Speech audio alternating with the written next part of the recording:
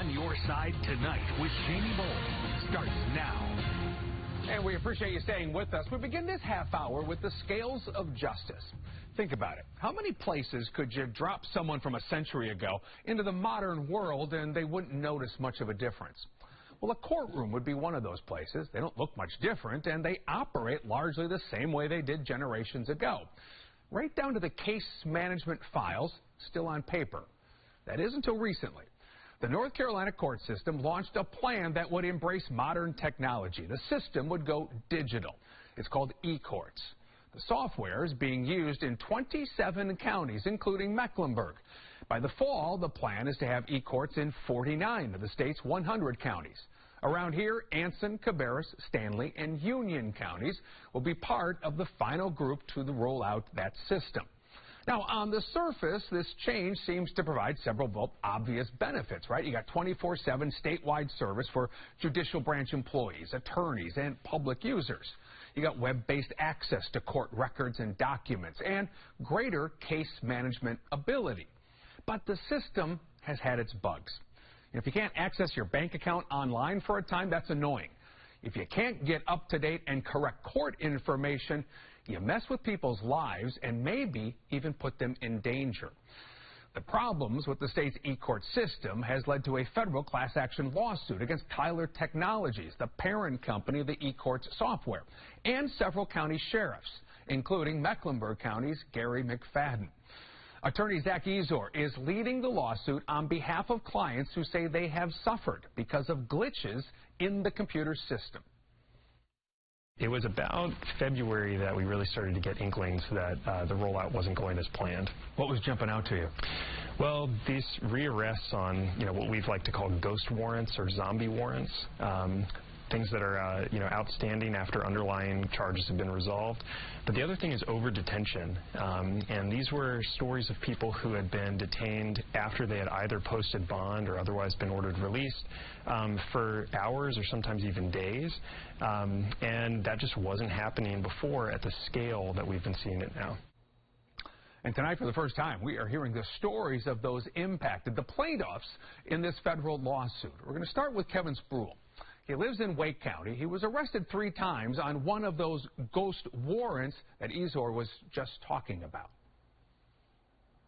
Can you start at the very beginning here, your first encounter here with, with law enforcement? This would have been in uh, February of 2023. Uh, mm-hmm. I was pulled over. Uh, the officer was saying there was an issue with the border plate around my license plate, which was the original reason why I was stopped. Um, I then provided my license registration as requested. Uh, he returned to his vehicle and was running my information. Uh, was there for a rather lengthy amount of time before returning to my vehicle and asking me to step out of the car. Um, I then questioned what the issue was because uh, I thought it was for my plate and I would be issued a ticket at work. Yeah. Um, and then he let me know that there was a felony warrant open for my arrest. Um, I then asked him what the charges were, and he let me know there was uh, obtaining property under false pretenses and that I needed to be arrested at that point in time. From there, I was arrested. I was taken down to the, the Durham County uh, jail.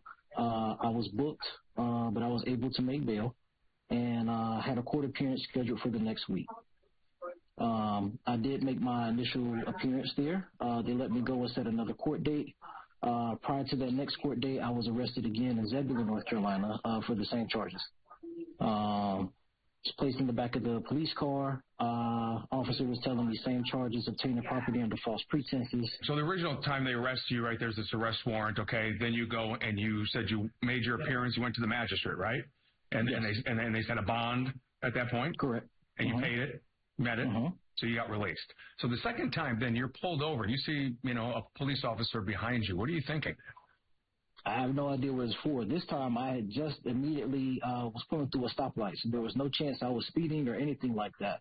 Uh, so he pulled me. I had no idea what it was about. He asked me to show my hands at first, identify who I was. I told him I was Kevin Spruill. He let me know that the uh, the warrant was still open. Um, I got out of the vehicle, and again I was handcuffed and placed in the back of a police car. And you're trying to explain. Wait, hold on. This is not right. Are they listening to you? He shows me in the system uh, on the computer in the cop car that the the case is still open uh, which I'm confused about because, like you said, I already already gone through the magistrate uh, office and that whole process there. Um, but again, I had the wherewithal to remember I actually taken a picture of my paperwork. So uh, he was kind enough to let me look through my cell phone. I was able to retrieve those pictures and present them to him. And uh, again, he talked to the officer, and they were able to get everything resolved. So then you're arrested again. You said at, at the courthouse itself. I was able to attend my court date the following week, where I was arrested again in the courtroom. On the same charges, again, obtaining property under false pretenses. I was handcuffed and shackled this time and taken to a holding cell. Uh, but again, I had my paperwork with me.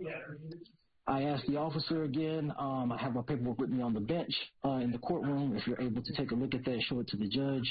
Uh, they were able to review it after about an hour and a half, and I guess they got everything situated at that point.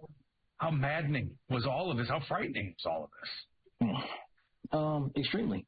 Uh, again, not knowing there was a felony warrant out for my arrest. Uh, again, being arrested multiple times for the same charges on that case uh, just an overwhelming feeling of helplessness, pretty much. Spruill maintains his innocence on that felony charge. We'll have to see where the case goes in the future. Meantime, here in Mecklenburg County, in the first four days after the launch of e-courts, approximately 66 people were jailed beyond their time of release because of technical glitches. Valerie Daniels says the issues continued. She was arrested for simple assault. That's a misdemeanor. This was on December 4th, 2023. Her release was ordered for the next day, December 5th. No conditions, no bond. But she was held longer than she should have been. December 4th, um, my actions kind of put me where I am, and there's no denying that. After my actions landed me in Mecklenburg County, I got there maybe around 9 o'clock mm -hmm. uh, on the 4th, and I didn't get to see the, well, I came before the match magistrate around about 10, 10.30 maybe. Mm -hmm. So I learned then that the judge wasn't there. Uh, on the 5th, um, I came before the judge at 9 o'clock in the morning. And bond and all, but didn't have a bond. They let me go. And I stayed there another night because they didn't let me go until 3 o'clock Wednesday morning. Why? I have no idea. when I asked the uh, officer at the front desk, uh, she informed me that uh, Mecklenburg County system wasn't matching up to the police department or something. So a computer glitch. Yeah. Describe what happened to you then um, the next day when they're going to let you out. How did that whole process work? Did someone just come and say, "Oh, you're free"? Well, I didn't sleep at all that night because um, I my daily morning starts with a medication regimen, and I didn't have my medicines. That's seven pills I take a day. And I could say they gave me one pill while I was in there, one of my blood uh, pressure medicines. While I was in there, gave me one pill. Mm. And that third day, early that morning, I want to say around 2 o'clock, 2 o'clock maybe, I started feeling the effects of not having my medicine for three days. And so that's when I was talking with the um, officer that was on the floor there, and um, she was trying to get someone to get me medication. What happens if you don't get your medicine? Well, for me, a number of things could happen. Because I'm asthmatic, mm -hmm. and like I said, I have a chronic pain condition, so sleeping there was was very hard for me, very hard, and it just I wouldn't wish that on nobody else. Just how angry are you about all of this? I'm, I'm, I'm real angry about it because I feel as if if you let, if I'm in court before you at 9 o'clock in the morning, at least by 11 or 12, I should have been walking out of the door. Mm-hmm. I mean, I understand that there's a process, and I, I mean, it's not that I can just go and get my things because hey, I don't know where they are but looked like if you should have had a better process. Eli Timberg is representing Valerie in the federal lawsuit. For someone like her to be spending that those extra hours, I mean, you know, some people might say it's not that long, it was an extra day. And a day is important. How much would you pay to get an extra day of life, you know? It's incredibly stressful to be in jail. Um, there's a lot of people dealing with mental illness in jail, and, and so your guard is just on high alert. And on top of that, depending on your medical conditions and how old you are, you're missing medication. Um, you're missing really important parts of your life. And for a case that's a misdemeanor, the chances of her spending an hour in jail, of, of, even if convicted, is what? Nil? Highly unlikely. Just in general, how is this whole thing working in the court system right now here locally? Yeah, it's it's been bad. Um, there's there's the problems inside the courtroom. I, we're handling much fewer cases than we used to handle. But the thing that's really sort of unforgivable to me is the delayed release at the jail. Um, that's the part that needed to be right when we rolled it out. Getting it done right because attorney Gagan Gupta says your tax dollars are being used to fund the system. And what's sitting behind this is now $125 million of taxpayer money. Um, it started as a $100 million contract with a company called Tyler Technologies. There was a bidding process, um, but already that's ballooned by another 25%. And so I think North Carolinians in general, whether you've been caught up in the system or not, are saying, hey, what's going on? Asking questions.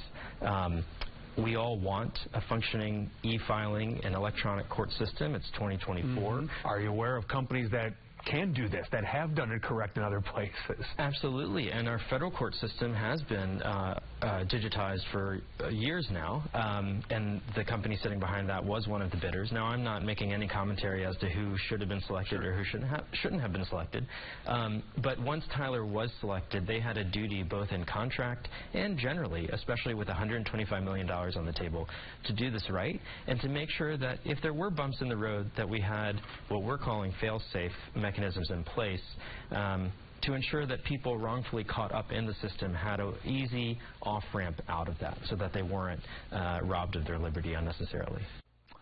Our investigative reporter Naomi Coles did some digging into Tyler Technologies. This is not the first lawsuit against the company.